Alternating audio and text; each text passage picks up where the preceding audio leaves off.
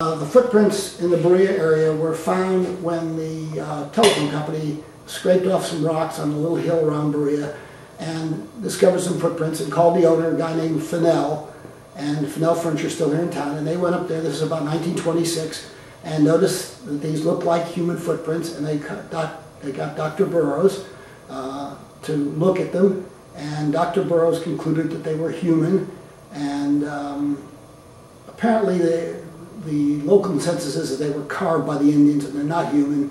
Uh, they have since been unfortunately taken out. Some people, uh, vandals, went and carved them out and stole them, so there's no way to prove any of this stuff.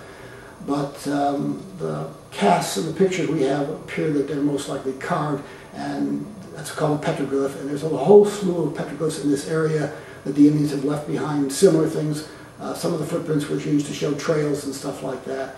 And uh, we get people to come in that think that they were astronauts who came here 350 million years ago and walked in the creek and left their bare feet impressions in the rock. And other people think that they're due to the fact that the Earth is not as old as we think it is and that they're modern.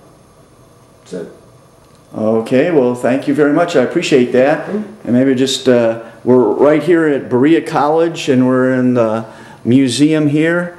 And just give you a quick, uh, show you a quick view of the museum they have here. And collection. And there's uh, Dr. Burroughs right there and his wife.